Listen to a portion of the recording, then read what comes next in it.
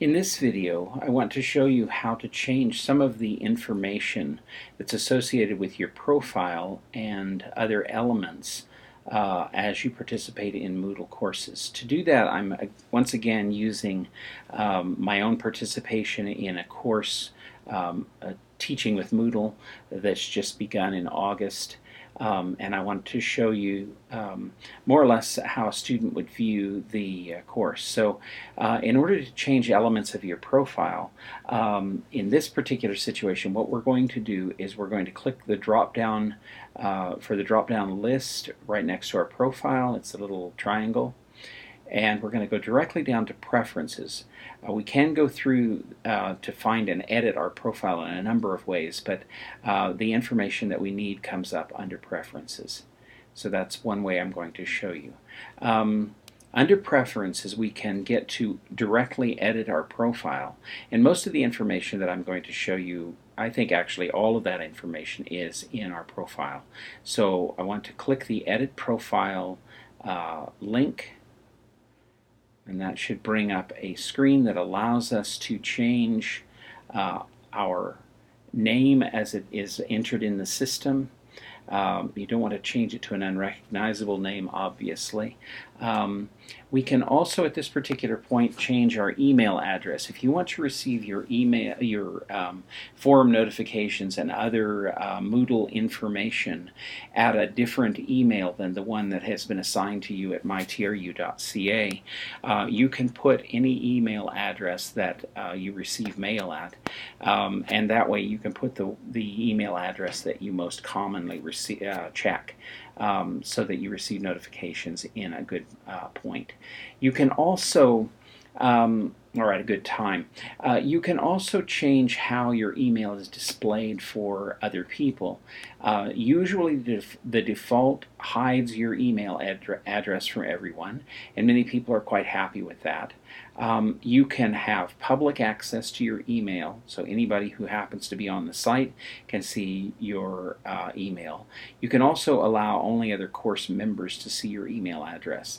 Um, that means that if they wanted to email you, wanted to send you a message, um, they would have your uh, direct email and not just have to send you a message through the Moodle system. Of course, the Moodle system works uh, as well, but oftentimes uh, class members like to share addresses with each other, but not outside the class. So this keeps it within your class. You can also enter as much of your city and town information as you want, or if you're from a community that's not right in Williams Lake and you want to identify that, um, or if you're taking uh, courses from one of the regional campuses and want to put any city or town can be uh, listed in there.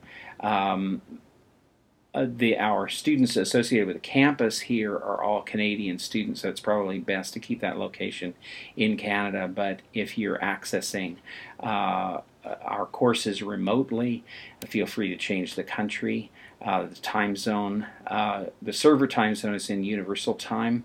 So that means that your forum messages may get posted as if you were in Greenwich, England.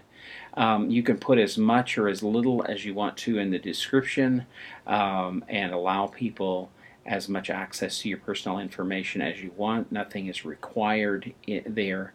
Uh, you can also upload a picture to the site. If you don't have a picture loaded, you can you can add that. If you have additional names, so that if you go by one name and you want that name to be on your diploma, but informally you want a different name to be used in classes, this would be the place where you could um, put that information.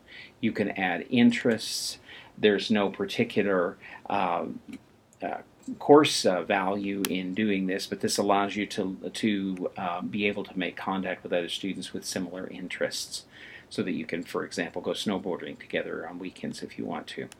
Um, there's other uh, many other different IDs that can be put in there uh, as much or as little as you want. Um, this, once again, is only available to other Moodle participants and only through the Moodle site. So it's not being, it's not like it's linking into, let's say, LinkedIn or Twitter or Google Plus. Um, this is still something that is kept very much in-house in uh, Moodle and uh, is it respects the FIPA uh, privacy regulations here in BC uh, by keeping all the information on a server that is within TRU. So this has been some, uh, this is some of the ways that you can change the information that is displayed and change how you are notified um, with campus information that comes through the Moodle system.